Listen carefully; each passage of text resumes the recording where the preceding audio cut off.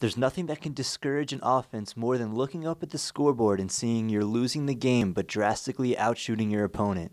That was the case Friday night for the Quinnipiac men's ice hockey team. Some teams let that get to them, some bounce back.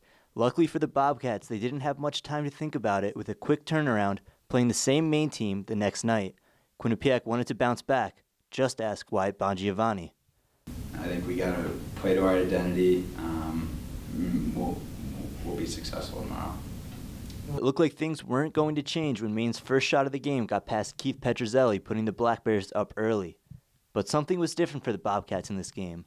Unlike Friday night, Quinnipiac answered right away. Only 38 seconds later, Michael Lombardi got the crowd back in the game, igniting the offense that couldn't finish just the night before. Quinnipiac finished the first period with two more goals by Ethan Leyh and Ethan de Jong, all credited to one thing in particular. If you've ever spoke with Rand Pecknold, you'll know that culture, attitude, and buy-in are the three main things that he stresses to his team both on and off the ice, and was the difference between last night's loss to Maine and today's win against Maine.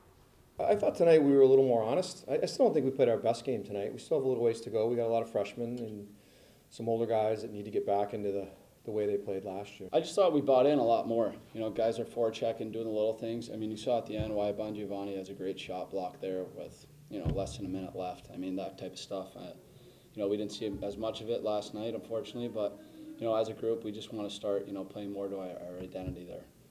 The Bobcats will look to continue to buy into the system and carry the momentum from this win into their next game on Sunday, October 27th against Vermont at home.